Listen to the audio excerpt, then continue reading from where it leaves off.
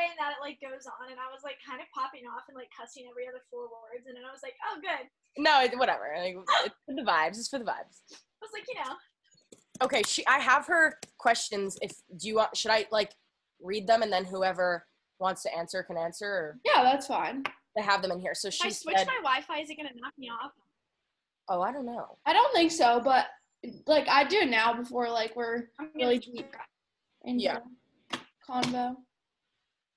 I'll wait for. Whatever. It takes two seconds. I have that song from TikTok stuck in my, and I don't really like. I don't really go on TikTok that much, but like you know the one it's like some mistakes it's alright. Like I don't know why it's stuck in my head. Um, should I just? Oh, she's good. Okay, sick. All right. So the questions that she put here were.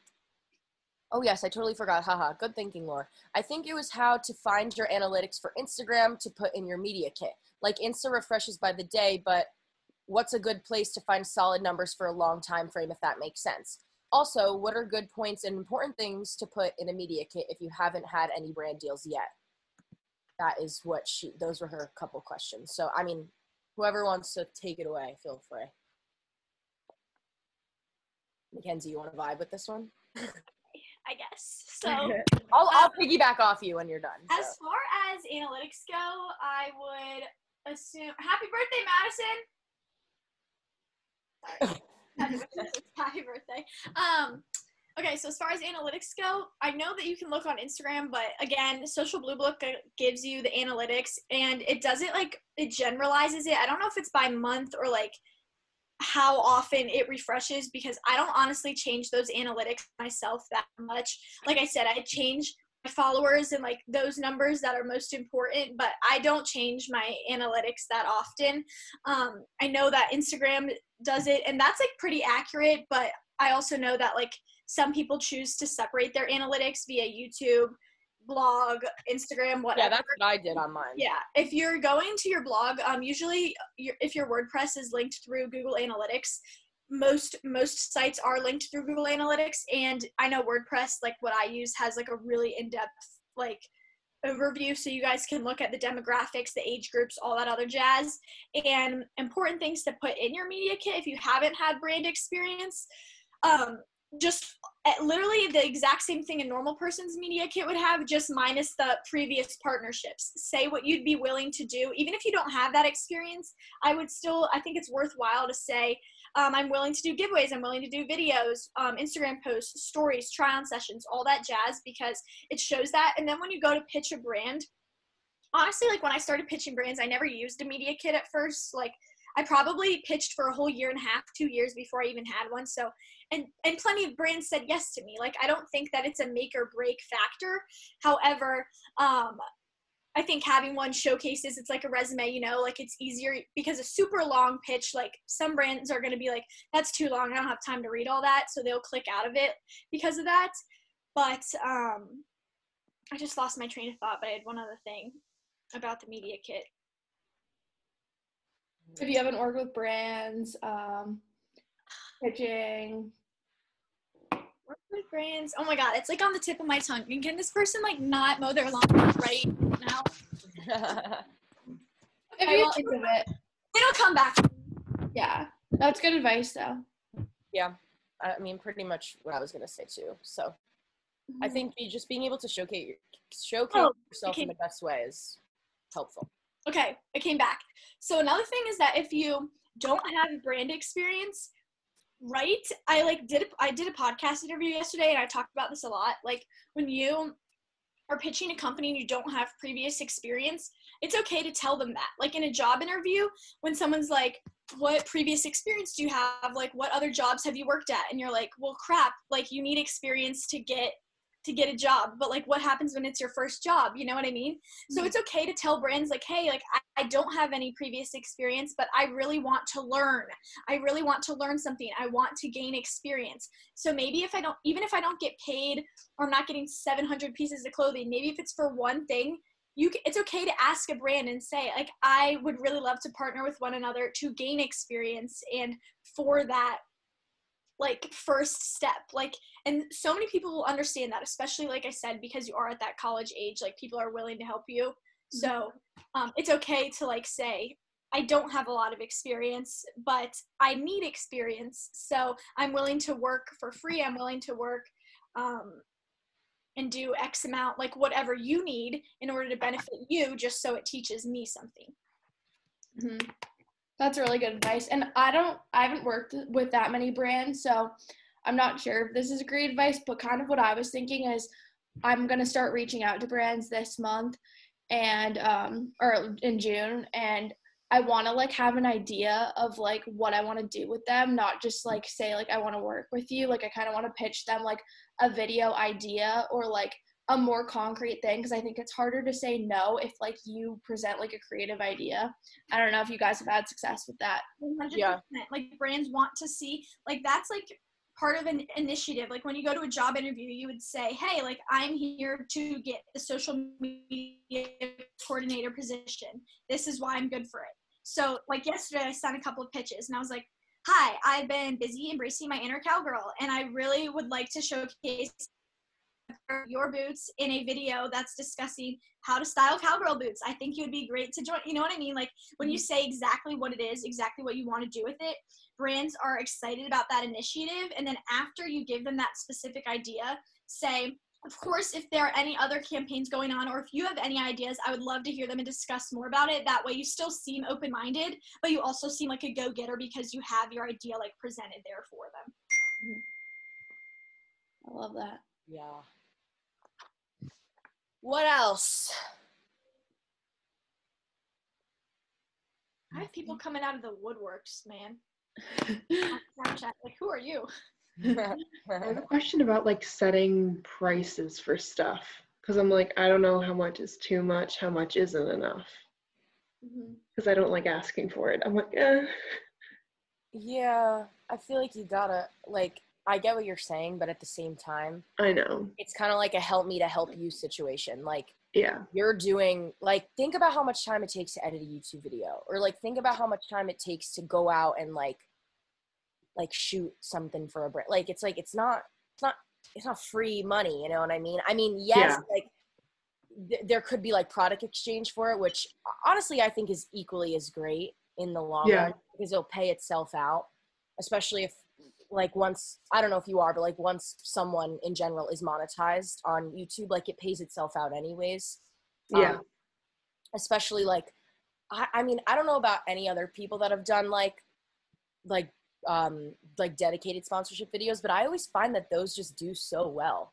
Like I don't know why, but they just like always do. So hauls, well. which are like they send me the clothes. Yeah. Those give me the most views, which makes me the most ad revenue, and will I'll make so many sales and commission that it like Yeah, so it, it Mhm. works out it's anyway. really no oh, she's frozen. Yeah. I mean, would it be nice if someone was paying me $300 on top of it? Yeah, but like, am I mad? No, because like, I can't really complain. So, Yeah.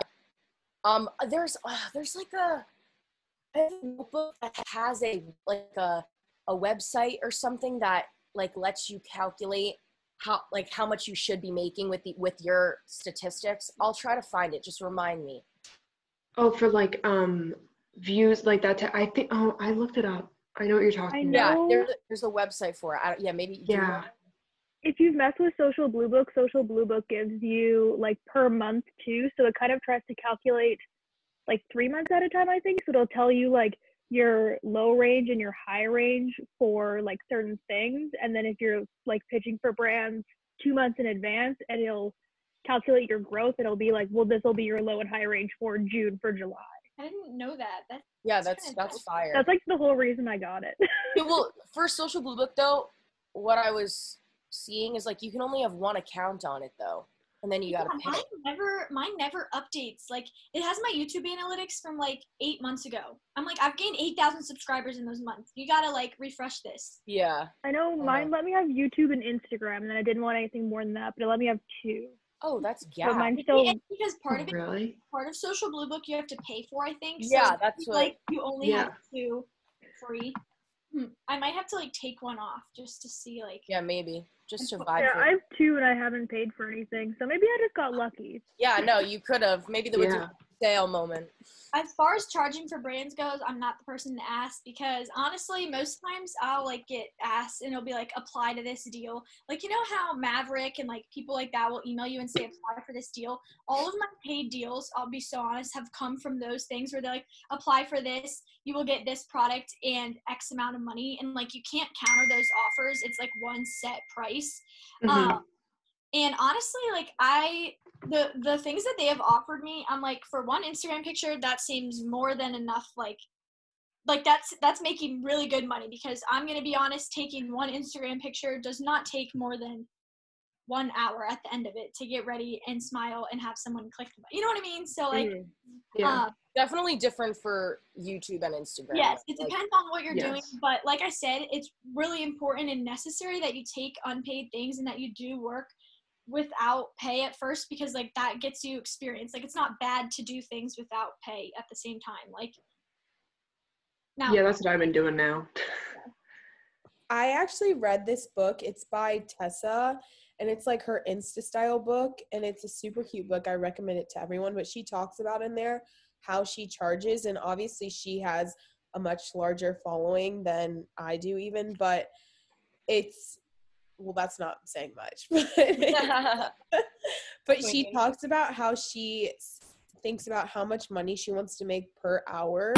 Like if you had a minimum wage job like thinking about a youtube video and making a youtube video takes hours and hours and hours like thinking about the idea. And then also for youtube and instagram you have to think that they're able to use that content long after your partnership is completed and so i think that she really iterate reiterates over and over again that you shouldn't sell yourself short i know it is like 100% when you're first starting out like you aren't going to be you shouldn't expect to be paid a ton because you just have a lack of experience but once you are more established like not selling yourself short is i feel like a really big situation Wait, okay. I just found something. So distribution fee plus talent fee equals what you should charge. Let's start by understanding the difference between your distribution fee and your talent fee. Your distribution fee is how much it costs to be featured on your channel slash blog. Keep in mind that this price can great um, can vary great. gr- Okay, so. This price can vary greatly based on five factors: follower count, engagement, quality of content, name slash facial slash recognition skills, demographics.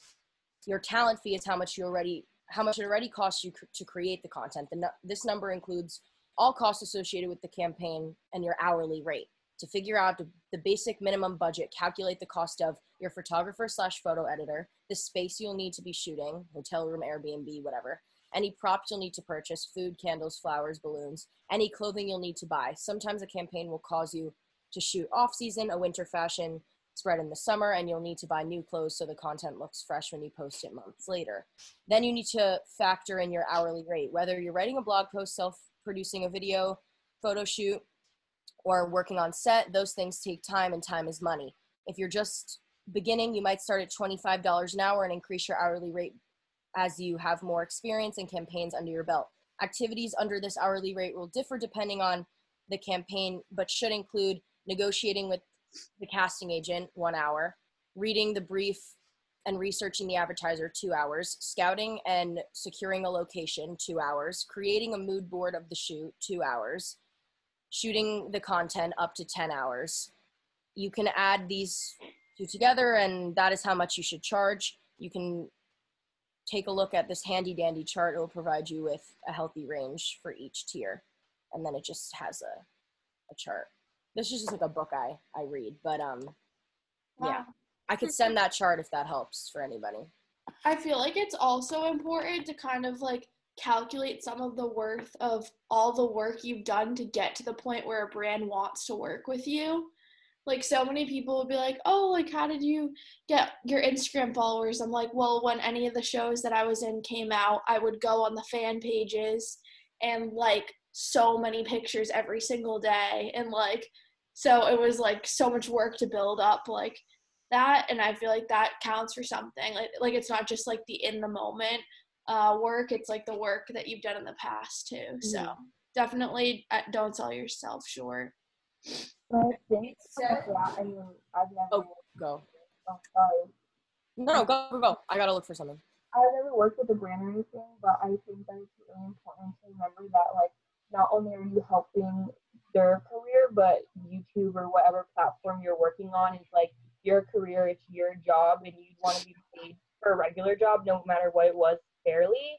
So like, don't feel like you have to be paid like a certain amount that you feel is below like your worth or something like that, just because they're like a lot bigger than you. Because at the end of the day, this is like also your career as well. I don't know if that I don't know if I really have the place to say that, but I said it. No, it's okay.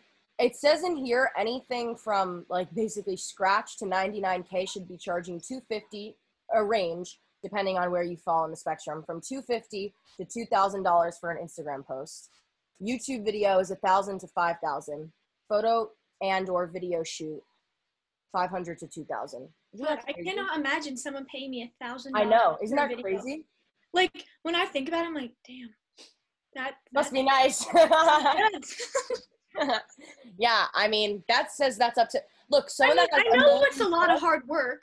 Like I do, but when it, your work is so fun, it doesn't feel like work. I know, So that's that's what what's makes hard. it seem like so much money to me. Is because I don't really like. I mean, I know I'm working really hard, but like when I film a video, I think, oh, I'm doing something kind of fun for the day. Yeah. You know, Well, it says here that someone that has a million plus should be, oh my God. Instagram posts 7,500 plus dollars, YouTube video 15,000 plus dollars, and photo and and or video shoot 10,000 plus dollars. Like think what? In one month, you could make like what most people make as an entry level salary. Like, Well, that's why that's why people like like Jeffree Star and like Yeah. Jane, like that's why they're so rich. Okay, but then I saw a video. I think it was Natalie Barbu, and she said oh that the biggest, the biggest deal that she turned away was like twenty thousand dollars, and she does not have near a million subscribers or followers. Well, because followers um, doesn't measure your influence. Like if you Yeah. have Engagement, I, I- think, is more important. But yeah like i have 10000 subscribers but like if i had 1000 sales in one week for a single company like that's to a company that's thousands of dollars on their part so like that's worth mentioning too Yeah, so I think it just gives me a little bit of hope. And I guess like thinking now, it's like build up the relationship that you have with the people who are following you so that when you are in a situation where brands are offering you things, your subscribers and followers will trust you to then Yeah. buy those things and participate in whatever you're talking about because I feel like once if they don't trust you, they're not going to buy something from you. And that's what keeps getting you deals. yeah. hold on i think someone's at my house to see me queen, this birthday queen. I feel like this topic is like a lot. There's like so many different things that like Yeah. stress not maybe not stressful but i feel like once it involves money like i don't know sometimes i would feel like guilty if i'm overcharging or uh, like i don't want to do work that i'm not getting paid for. So it's like a really tricky thing. But i think that it's a good topic that we can keep bringing up especially as we like build our media kits and we can help each other by looking at those and Yeah. does anyone else have any questions So I know that last time, Laura, you were a big advocate for like reaching out through like LinkedIn and stuff. Yeah. But um, when it comes to like reaching out to brands on Instagram versus like through an email you find or something, Yeah. like what is like the best luck you've had? So I send pretty much the same cold DM to everybody, honestly, and everyone answers normally, which is really cool. Um, I but- also oh go, Go. ahead. I also d- took a day and I was like I'm gonna DM 50 brands. wait. Didn't I tell you to do that? Yes, you did. I did it. Yes. And I haven't done the next step, but I did. Okay, but that's okay. This is a start. It's a start. it's a start. But most of them DM'd me back with how to apply to their affiliate program. Yeah, So perfect. That I feel like if you're doing bigger brands, then more than likely you're going to get them saying, hey girl, I'm so glad you're interested in working with us. Here's a link to apply to our affiliate program. Good Hey, luck. girl. Hey girl. Hey girl. No, okay. I literally I can tell you guys what I say if that helps. I don't care if you use the same thing. It works, so you might as well. yeah. So I literally go, ready? Scene. Get my acting face on, right? Hey, my name is Lauren. I'm a content creator from New York City. I was wondering if you were able to provide me with a contact for partnerships. I am very interested in working with you guys. Thank you so much. Smiley face. And then usually they'll send me their contact for their PR people, their influencer marketing people. And I think if you're just like really direct, I used to even say like way back in like way back in the day. I would be like, I'm interested in making like a sponsored YouTube video or Instagram post for you guys. Like I literally would say now I just don't care. I'm just like, whatever, whatever, whatever. You know what I mean? I just like send it. But I even used to say stuff like that. I, I really like what Taylor was saying because that's what my like manager guy was saying yesterday. I was talking to him about it. He was like, wait, I'm gonna read you guys what he said because I think it'll be really valuable for you to hear. I was saying if I should circle back with some company or whatever I was even saying. Hold up, hold up, hold up. Sorry. Okay. Definitely a good idea. Share a vision with them. Talk about the benefits with them and why you would feel it would be, it would be a good idea for them. Come in with value and a clear idea, and it will make her job to say yes a lot easier. So essentially, what Taylor was saying, but I think that's like really smart that he even like mentioned that. I don't know. I think the whole idea of adding value is like so important, and I think that anytime you're pitching a brand, I personally like do the more add value on a more professional platform. So like say I'm emailing them or something like that, like my DMs are usually just like a cold kind of okay, I need the email type of thing. Oh, that's cute.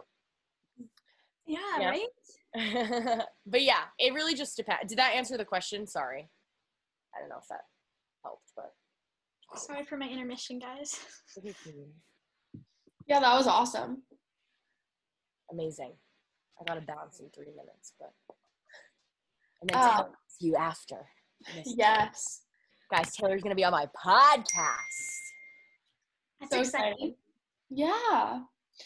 Um, so I feel like the next step for a lot of us is just making the media kit. That way, if a brand like I don't know, I feel like there's no sense in reaching out to people and then having them be like, yeah, send over your media kit and then not having one. So at least for me, I feel like that's gonna be my next step. So maybe we can on a call like throw one of ours up and kind of critique it and stuff before we actually send it out. I don't know if you guys like that idea for next week. Okay, cool. Does anyone have any other questions? I don't want to keep it too long. Okay. So the next meeting is Monday at 7 p.m. If you can come, it will be super fun and we'll keep going with this topic because I feel like there's just like a lot of layers of it and um, I'll have my media kit. I can do the first one to like throw up and have people kind of give critiques. So thank you guys for coming and we'll see you soon. Happy birthday, Mackenzie! Happy birthday! Yes.